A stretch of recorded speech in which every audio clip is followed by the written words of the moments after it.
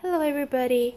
Today I'm going to show you how to cook broccoli bacon fettuccine. So you can get a better fettuccine from the shop. And then you cook it for roughly 6 to 8 minutes. I like to add a little bit of oil in it so that it doesn't stick together later on. Once the fettuccine is cooked, you just drain the water. And I personally like to drain, put a bit of, just run this with some water, like cooked boiled water. Just to drain any extra bits of stuff in there. And now I move on to broccoli. So you just cut the broccoli into smaller pieces.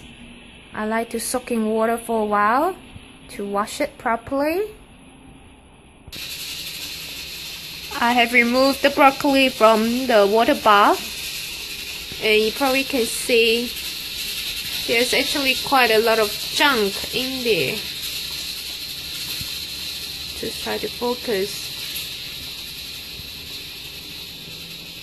So it's always good to soak broccoli in the water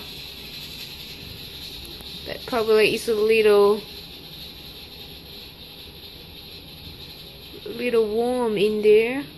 Few little worms. You probably wish not to eat this. Okay so they are nicely clean.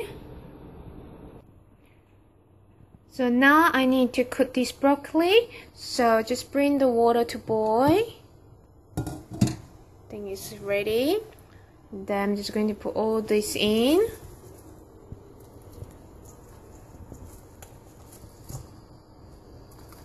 It's important not to overcook the broccoli.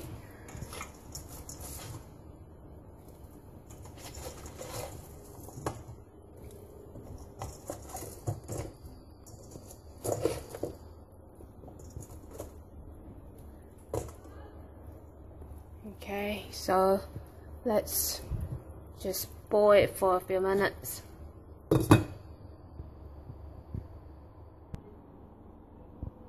And now I'm going to prepare a little bit of onions. So you got the onions, you got to chop it into small pieces.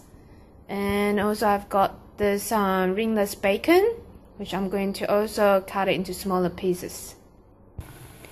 So broccoli, now you can see the colors change to this really nice green, so it's cooked. So we're going to take it out and drain it.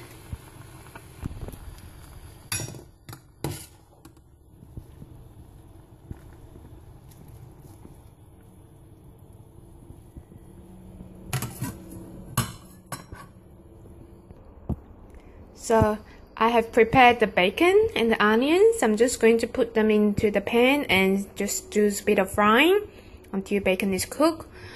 And because bacon itself has, you know, fat in it, so I usually prefer not to put any oil. Just get the oil, the fat from the bacon. So I'm just stir frying the bacon and the onions.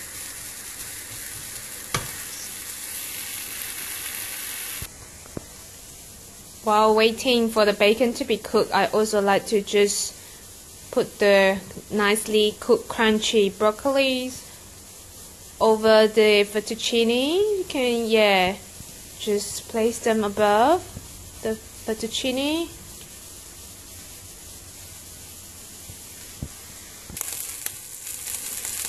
The bacon looks quite nicely cooked, a little bit brown.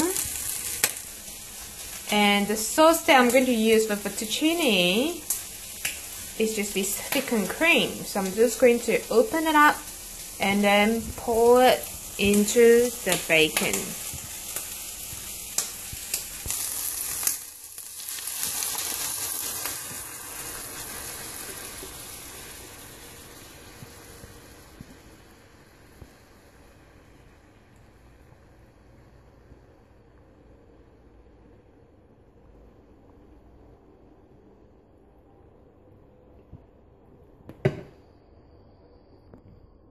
And now I'm just going to just let it boil a little bit until the cream gets thickened.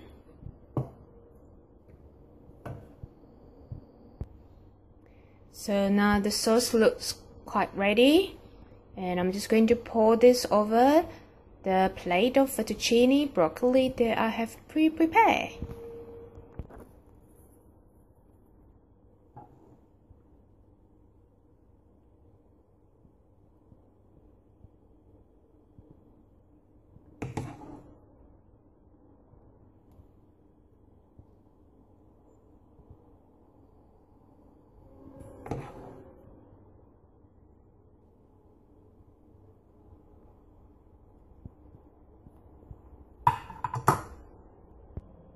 Okay, so this plate of broccoli bacon fettuccine is ready to be served. It's a really healthy dish with lots of green. And you can see how I plated it. Three layers, very nice, yummy, healthy. You can actually put some salt and pepper if you like more flavors in it. But generally, because the bacon is already quite flavorish, so I don't put much at all. Alright, enjoy!